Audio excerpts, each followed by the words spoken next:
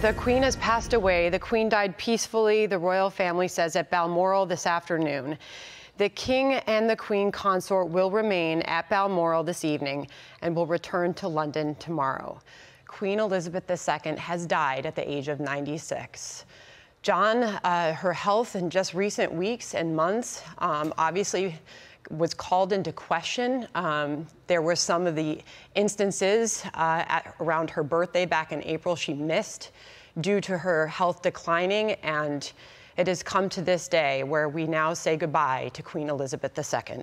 I mean, when you think about her reign, it, it is remarkable. She, she, she became queen upon her father Charles VI's death in February of 1952. Her coronation was June 3rd of the following year, but she has sat on that throne for 70 years now, becoming not only the longest reigning monarch in UK history, but the longest reigning monarch in, in world history as well. And she remained vital right up until the very end. I mean, it is a sad day in the UK and around the world, the passing of Queen Elizabeth.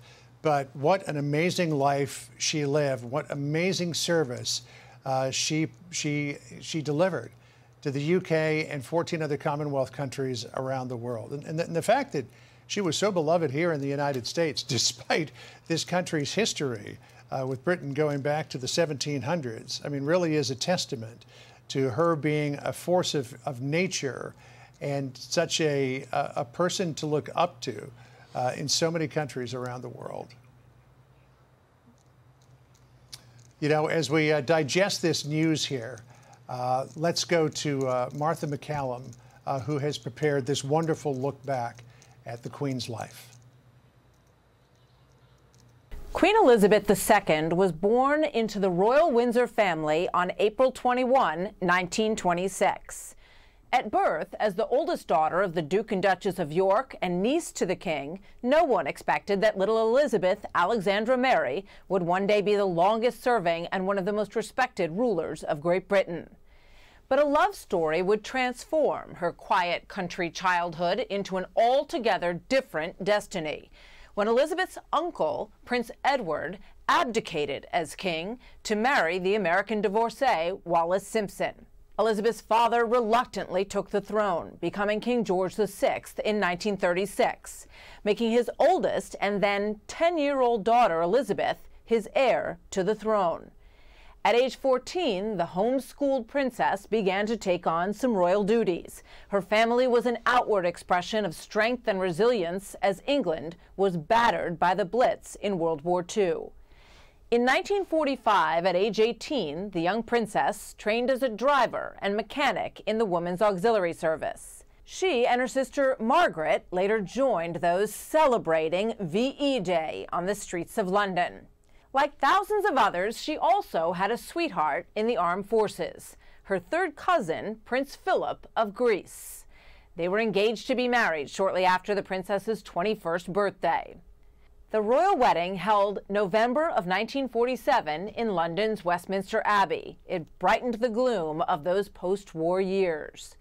The following year, the couple's first child, Charles, the Prince of Wales, was born. He was then followed by Princess Anne in 1950 Andrew in 1959, and Edward in 1963. But in 1952, while in Kenya with Prince Philip, Elizabeth learned the tragic news that her beloved father, the king, had died. In an instant, the 25 year old became the Queen of England. At my coronation, I shall dedicate myself anew to your service. Elizabeth was to rule in a new era her coronation in all its splendor was the first to be broadcast on television, as millions around the globe watched the transformation as it happened.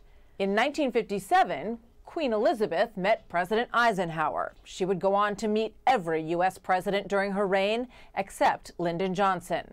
She often spoke of the strong and vital bond between America and the UK.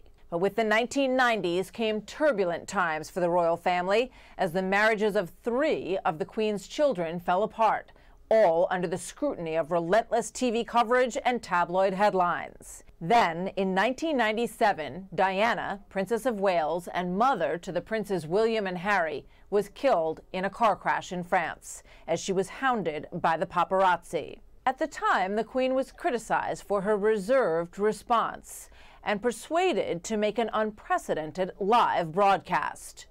So, what I say to you now, as your Queen and as a grandmother, I say from my heart. First, I want to pay tribute to Diana myself. She was an exceptional and gifted human being. Over time, the monarchy's reputation rebounded. In April of 2011, the Queen attended Prince William's wedding to Kate Middleton as some 2 billion people around the world watched the ceremony. She also made a historic visit to the Republic of Ireland, the first British monarch to do so in almost a century, a step toward healing a long and painful divide. The following year, the country turned out in force to celebrate Queen Elizabeth's 60 year reign a Diamond Jubilee celebration spanning four days. Thousands lined the banks of the Thames as a flotilla of a thousand boats, led by the Queen, made its way down the river. The worst of British weather tried but failed to dampen the mood. And the then 86 year old Queen and 90 year old Prince Philip stood side by side for the four hour ceremony. Queen Elizabeth ended the celebrations by thanking the nation for honoring her. I will continue to treasure and draw inspiration from the countless kindnesses shown to me in this country and throughout the Commonwealth. Thank you all. In 2013, the Queen welcomed her third great grandchild, the much anticipated Prince George, son of William and Kate.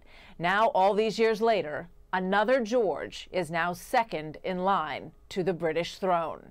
His younger sister, Princess Charlotte, is third. She was born in 2015, and later that year, Queen Elizabeth became Britain's longest reigning monarch, overtaking her great great grandmother, Queen Victoria. In 2016, the Queen celebrated her 90th birthday. That was a four day event, honoring the Queen's deep involvement with the armed forces and giving the nation a chance to celebrate her life. 2018, the Queen watched on as grandson Prince Harry married the American actress Meghan Markle in a ceremony that brought glamour and Hollywood royalty to the House of Windsor and led them firmly into the 21st century.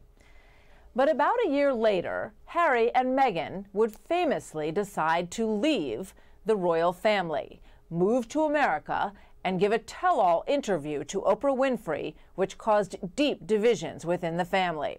In 2021, the Queen's beloved husband, Prince Philip, died at the age of 99. The nation mourned with the Queen, but COVID restrictions kept the funeral small. The image of the Queen sitting masked and alone in the church became the image of a country both in mourning and in lockdown. But as she had so many times before, the Queen persevered. From an early age, Queen Elizabeth was one of the most recognized royals and recognized women in the world. Nearly a third of the planet lived in the Commonwealth that she ruled. She managed to combine the truly regal with a countrywoman's simple pleasures, and she embodied old fashioned values of virtue, faith, and self restraint, honoring to the very end the pledge she had made when she was just 21.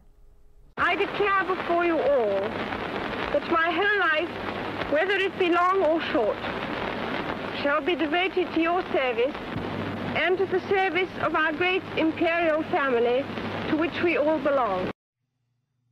Martha MacCallum with uh, an extraordinary look back at an extraordinary life. 70 years on the British throne for Queen Elizabeth II.